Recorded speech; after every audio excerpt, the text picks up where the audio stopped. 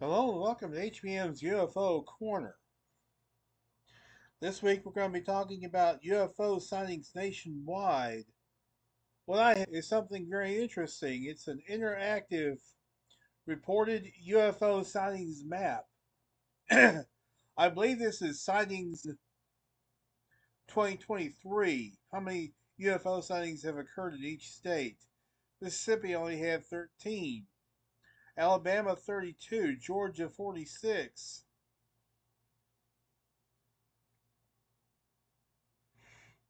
All you gotta do is touch each state and it'll tell you how many sightings have taken place there.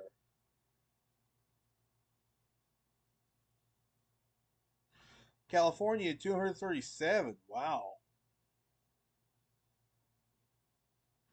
I think California is the winner for 2023.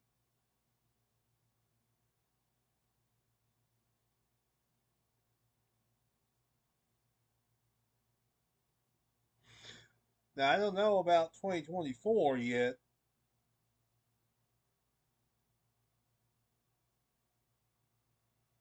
But 2023, these are the statistics.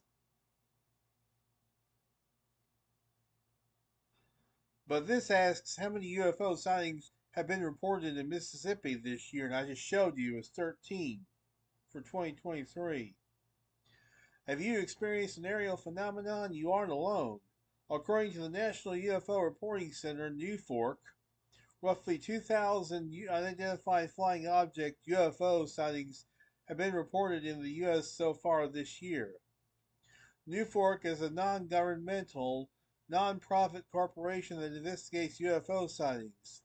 The center says it receives, records, corroborates, and documents reports from individuals who believe they have witnessed an aerial phenomenon. Since its founding in 1974, NUFORC says it has processed over 170,000 reports, which are listed online by date and location. The center explained that guaranteed anonymity to callers is a long-standing policy of the corporation. NUFORC makes available to the public all of its data in summary form with the time, location, duration of the sighting, and a short summary describing the UFO. The organization notes that it can't validate the information provided in reports, but it does remove obvious hoaxes. Interesting.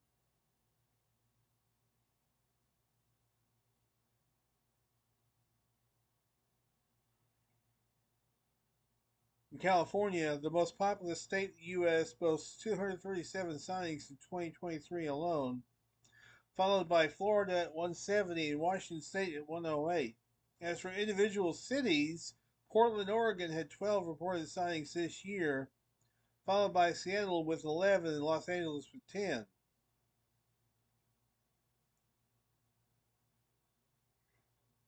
So there you go. Very interesting stuff. And that's going to do it for this week. We want to thank you very much for tuning in. You guys are the heart of the show. And I don't know what I'm going to talk about next week, but it should be something interesting.